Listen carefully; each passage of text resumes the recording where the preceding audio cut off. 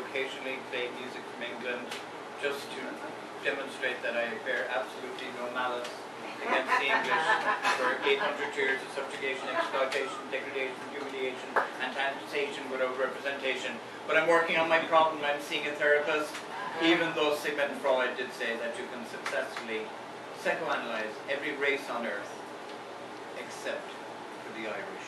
He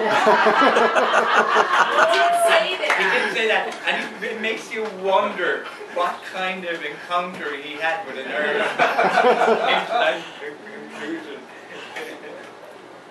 no, I don't think we want to know either.